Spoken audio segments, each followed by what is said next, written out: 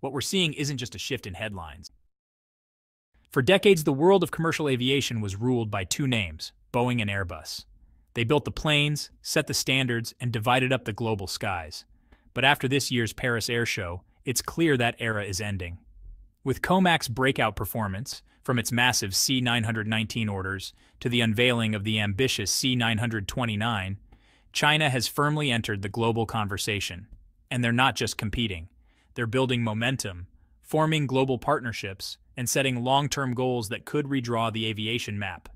Meanwhile, Airbus is charging ahead, winning deals across continents, showcasing fuel efficient models like the A350 and the increasingly popular A220. They're not just maintaining dominance, they're expanding it. And Boeing, for now, finds itself in a period of reflection. Between technical issues, crashes, and shaken investor confidence, the company must prove it can still lead, not just in innovation, but in trust. What we're seeing isn't just a shift in headlines, it's a shift in power. The skies are no longer the exclusive playground of two players. We're now entering a tripolar era, with the US, Europe, and China all vying for altitude in the most high stakes industry on Earth.